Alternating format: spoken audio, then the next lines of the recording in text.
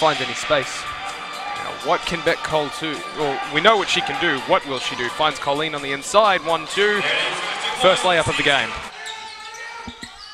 Fuller on the inside, virtually unguarded, but she still misses the layup.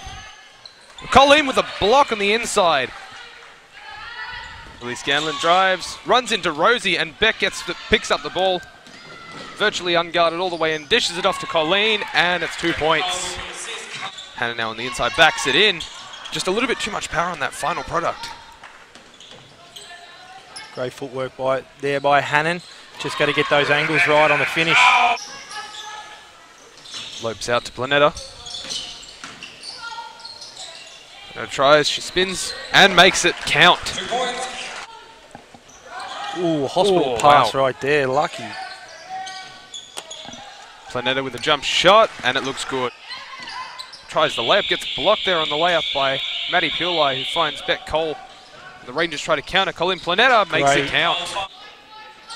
Good ball movement. Three is no good.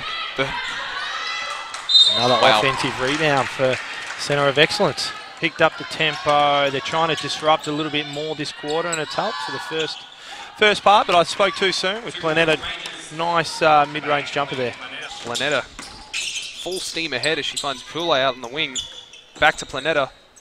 Turnaround jumper, and it's good. That is tough. Cloudsdale, Clydesdale to Planeta. Planeta backs it in and gets the bucket. She might have been wondering why she wasn't called for the foul, but